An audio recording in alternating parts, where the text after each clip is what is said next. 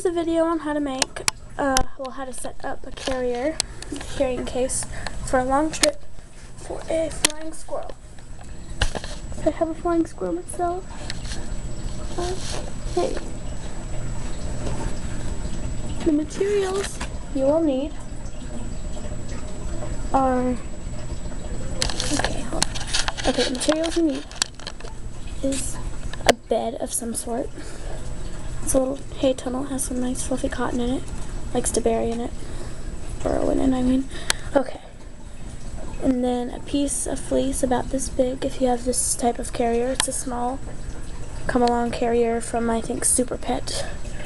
You also need some food that you feed your flying squirrel. And a little hamster bowl is what I'm using. I already filled it with the food I need.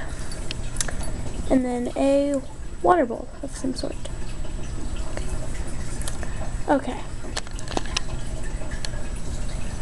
My flying squirrel ripped the plastic off the bottom of his, so that's why I use fleece.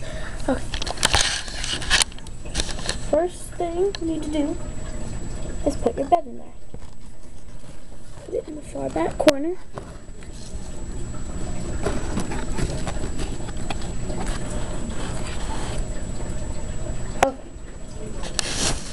Now you add your piece of fleece.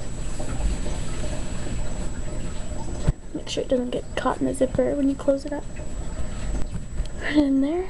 It's a good place for your pet to sit instead of on that hard plastic. Nice soft fuzzy place. Okay. Now, fill your food bowl with the type of food brand you use. Have pecans, walnuts, and Winn-Dixie brand squirrel food. Winn-Dixie brand squirrel food is pretty much hamster food, but it's just sunflower seeds, peanuts, and corn. Put the food dish in the back. And I prefer to set the water bowl on the fleece kind of away from the bed so that if any water spills, it spills onto the fleece and it can absorb instead of going under the bed and stuff. Hold on, I'll go fill this with some water.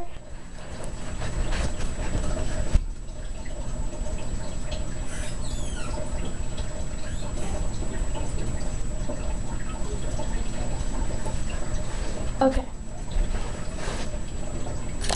Now, when you fill your water bowl, fill only the very bottom of it with water because while you're walking around it's going to be rocking like that. It's not going to spill easily. And just slide it in right there. And that's your setup. You can also put some chew toys in there if you want, but don't take up too much space. And then you pretty much add your flying squirrel. It has food, water, and a nice comfy place to sleep. That's my video on how to make, well, how to set up a flying squirrel carrier. This is the end of the video. Goodbye.